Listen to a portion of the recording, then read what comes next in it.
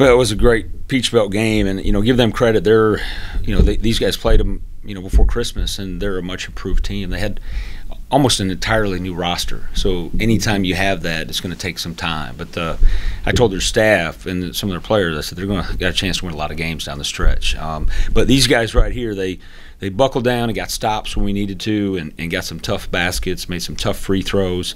Um, two of our captains here really stepped up, along with a lot of other guys. Obviously, a win's a win, but your offense uh, there, especially in the first half, was bogged down a little bit, a little inconsistent. Mm-hmm. What do you think? Columbus State was doing to kind of give you some issues? Well, their matchup zone is a little unusual, and they were switching up between man and zone, and sometimes even mid possession. So it created a little bit of hesitancy, I guess. But the second half, I thought these guys kind of found their rhythm a little bit and uh, got back to philosophically of doing a better job of attacking inside out. We shot a lot more free throws in the second half, and we got some better looks from three. We were 0 for 10 from three the first half, but we, you know, I think we made – you know, for the, the second half, Dave got a couple, JB got a couple, but our mentality was definitely more inside out that second half. Did struggle at times defensive rebounding. They had 20 offensive rebounds. Yeah.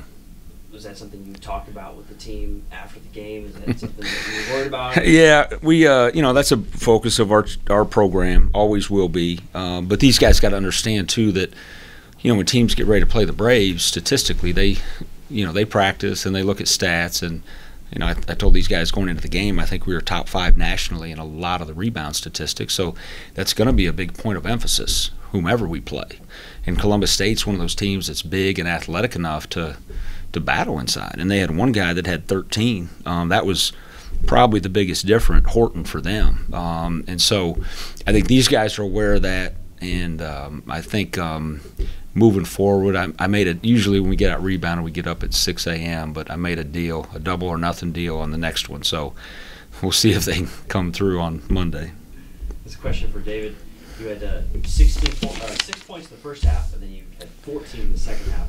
Were you looking to be aggressive in the second half, or what changed for you there in the final 20 minutes? Um, the final 20 minutes, I was just taking what they gave, whatever they gave me. Uh, my teammates did a good job of finding me, and I just tried to knock the shots in as a as a guard and one of the primary ball handlers, what do you think they were doing defensively that you guys were able to adjust to to allow you guys to score a lot better in the second half? Um, just just me recognizing what they in early and um, just getting us into what we need to get in, and that's my job, so I gotta do it. You know, you're only a, a redshirt sophomore, but it feels like watching you and the way you play that you play like a senior, that you're a very experienced guard. What allows you to to play like someone that's ahead of your years? Um, I think since I was younger, I always played with older guys. So um, I think I feel like I had a good basketball IQ, and I just try to stay poised and uh, just do my job. And then for Akia, they uh, are a team that has a lot of length and height, but they also have some versatile guards with some height as well. Mm-hmm. Um, coming into this game, was rebounding a big a big focus for you? And then uh, in the second half, felt like you started to rebound better as well. Was that a big focus coming out of the locker room?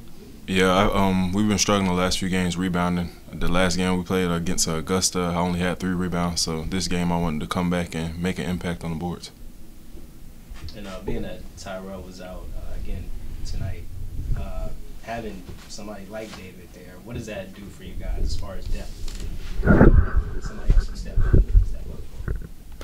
Well, um, yeah, we are blessed with depth. When you got guys like, um, you know, Micah that you know, probably would start a lot of places, or Cam. I mean, those are guys that have been coming off the bench for us that could start a lot of places uh, in our league and around the region. Um, so we're blessed with that, and and I, I know these guys and those guys coming in off the bench don't really look at it as, hey, I'm a starter, I'm a bench player. We're players, and um, you know, we. Uh, I think these guys have a lot of confidence in those guys as well. They have confidence in each other, and that, that goes a long way. The staff, everybody. Um, so we're we are definitely fortunate to have that depth. David, um, was that something going into this game uh, he's not going to be here again, so I'm going to have to do something and step up? You had one of your highest scoring games of the, uh, season.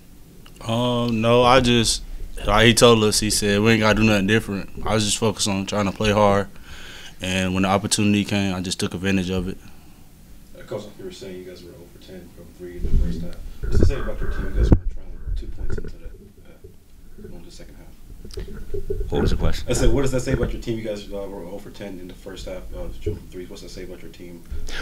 Well, we, we we got good shooters, and we're going to shoot threes. We work on them every day, um, but we don't want to be a team that's dependent on the three point shot to win.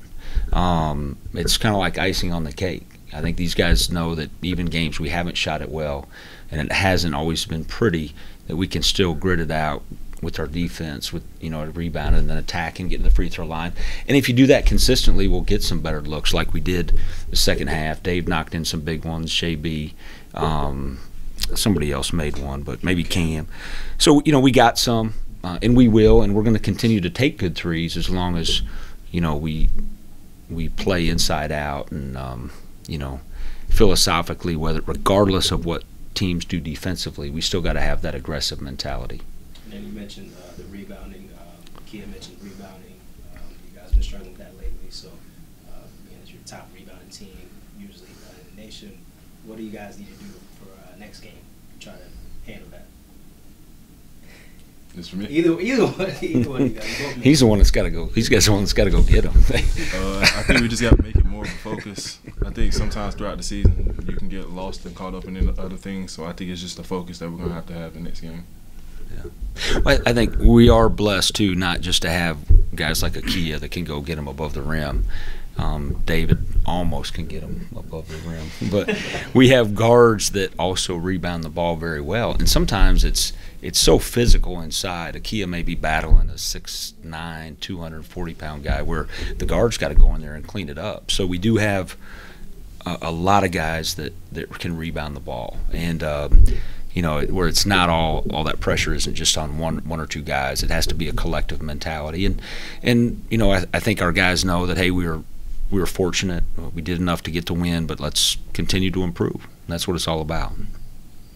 My question for Akia, you were um, 62% free throw on the year, but down the stretch there, two-point game, went to the line and drained them both. What was going through your head there as you went to the free throw line?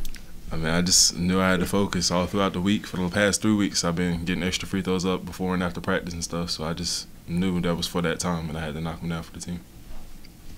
One thing that you know, as a coach, is a good feeling. Even days we try to give these guys time off, I walk by the gym and they're in there getting extra shots up on their own. You know, it's a group of guys that love the game. Um, their work ethic is tremendous, and so you know, we, you know, as a coach, you don't have to schedule a lot of practice time just for free throw shooting. We do a little bit in practice, but I know these guys are disciplined enough and to get in there on their own, and that's what it takes that extra effort. I did want to give a shout out to our fans. We're great today. I know it's a, a, kind of a holiday weekend with Martin Luther King, but we still had a great fan base. The the band was tremendous. You know, you had the cheerleaders and a lot of community folks that really came out. So appreciate that and hope to see them back here on uh, uh, Monday afternoon as well.